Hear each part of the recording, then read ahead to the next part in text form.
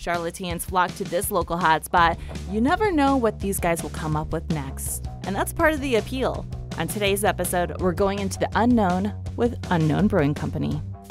Came up late one night uh, at a Waffle House and uh, tried to talk my friends into going whitewater rafting, and they all had excuses for their normal day-to-day life.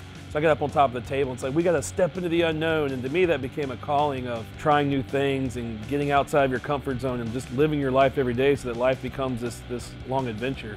We don't have a culture where people tell us things are bad ideas here, so it always spirals. So we can start a joke about a bromance, and the next thing you know, it's talking about, man, that, would be a funny bromance novel. Next thing you know, we have a label with uh, two dudes and a horse on the front in brewing, you want everything to be a success. So like in baseball, it'd be like swinging for the fences every time and pointing out a home run and hoping you never strike out. So we try to every time do something creative, uh, yet not fall on our faces. Where's the line? What's too far for you guys? I guess we're going to find out. we take our beer and our product so very seriously, and we want people to know that there's nothing that we care about more than our product. But at the end of the day, we want people to have fun too. So this up, up here would be in the VIP area. You can sit up here and uh, this is where we have our private events, but you can see wonderful shows from up here as well. What I love about the unknown is how we have such a diversity of people that come here. It's great people, it's great beers, we have food, wine, cider, non-alcoholic stuff.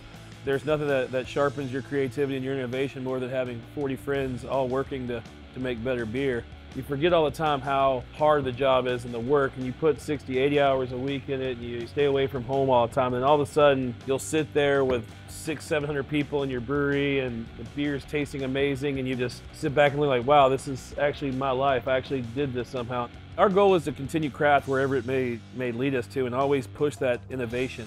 For us wherever people are pioneering and creating that edge and that thing that gives them the queasies, but they're taking that chance. I, I want to be a part of that because that's that's the risk of life. But every day you live it, you, you feel a little better about yourself.